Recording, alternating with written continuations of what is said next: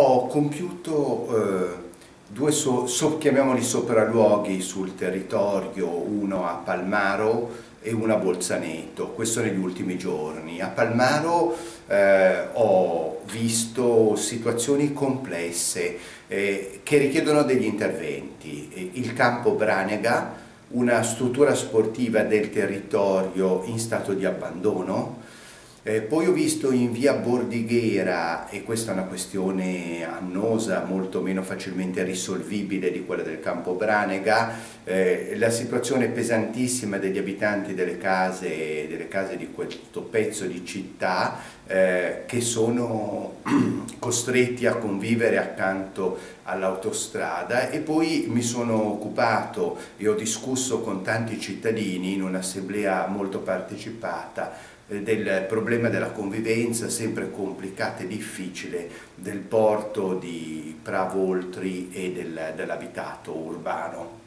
Su quest'ultimo punto ho detto che saremmo tutti perdenti se non trovassimo il modo di far coesistere un quartiere cittadino con un'attività economica che è fondamentale per la città come quella portuale.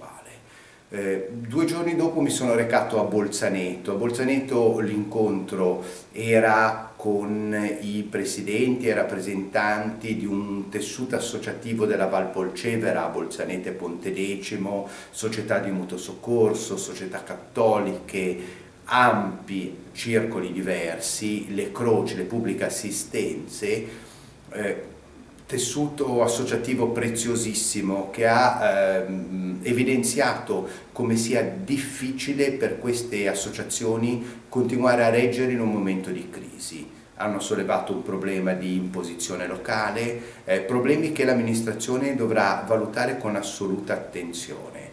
Sono incontri che sono importanti perché hanno un denominatore comune che è quello del rapporto e del confronto tra chi amministra e i cittadini e questo deve essere proprio un dato caratterizzante questa amministrazione, quello che io mi sforzo costantemente di fare.